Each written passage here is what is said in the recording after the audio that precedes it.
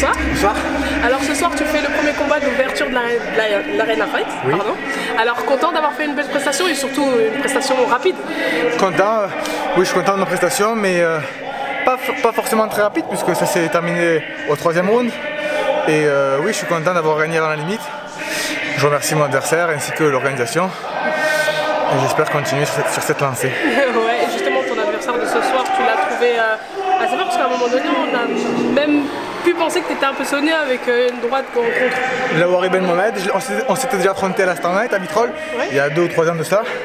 Euh, je connaissais un peu ce style un peu rugueux. Oui, à un moment il m'attrape sur, je, je sais pas si c'est une droite ou un crochet. Et euh, oui, ça va, heureusement que j'ai bien encaissé le coup. Et je suis revenu, euh, voilà. Je suis content de ma prestation, je le remercie.